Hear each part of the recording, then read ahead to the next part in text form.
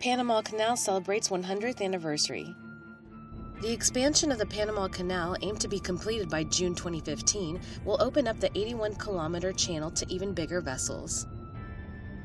The canal currently uses locks to raise ships 26 meters above sea level. Water from the artificial lake enters by gravity into locks and causes ships to rise. The ships then travel through the artificial lakes and channels until they reach the locks to the sea on the other side. Two new sets of locks are being constructed to supplement the already existing locks at the Atlantic and Pacific entrances of the channel. The new locks will be larger but use less water than the existing ones. Nearby basins will recycle the water from the locks as they are emptied and use the water to partially fill the locks when another ship passes through. Water from the canal's lakes will also be used to fill the locks.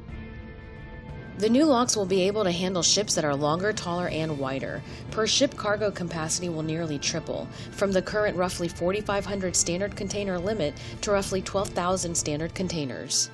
These changes will make the Panama Canal more competitive with the alternative Suez Canal route, which currently accommodates much larger ships.